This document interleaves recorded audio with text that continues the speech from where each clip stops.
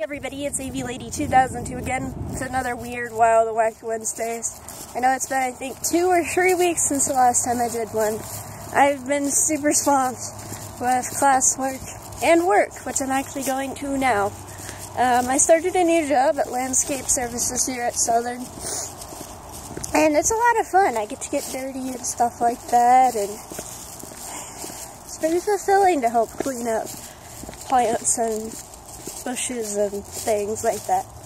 But anyways, um, what's funny, or weird, kind of wacky, is the um, cafeteria lady, like one of this cashier lady that's always there.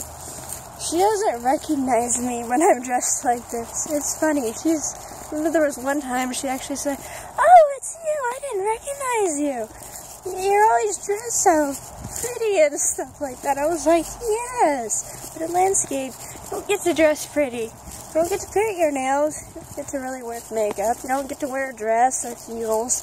That nice stuff. You know, you gotta, you gotta wear manly clothing. You gotta wear jeans and work boots.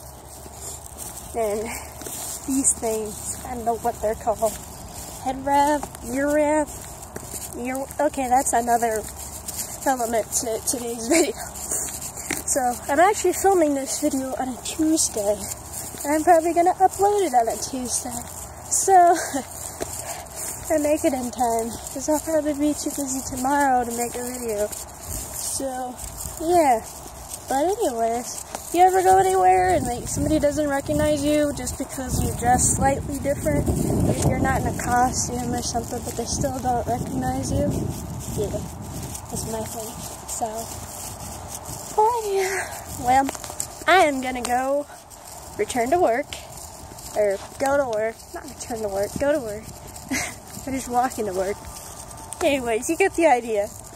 But uh, stay tuned. Hopefully I will have a video next week. If not, just know there will be one coming at some point in the future.